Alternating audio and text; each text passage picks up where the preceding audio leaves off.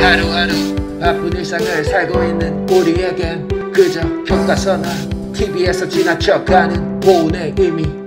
그러나 누군가의 아버지 누군가의 어머니 누군가의 자식이었을 그들의 삶 그저 나라를 위했던 그들의 삶 우리는 너무 쉽게 지나쳐가는 건 아닐까? 별일 없이 밥을 먹고 별일 없이 공부를 하고 별일 없이 일을 하고 하고 하고 하고 지금 누리고 있는 이 일상은 그들이 우리에게 준 선물이며 이를 마음속에 새기고 기억하는 것이 최소한의 예의. 최소한의 예의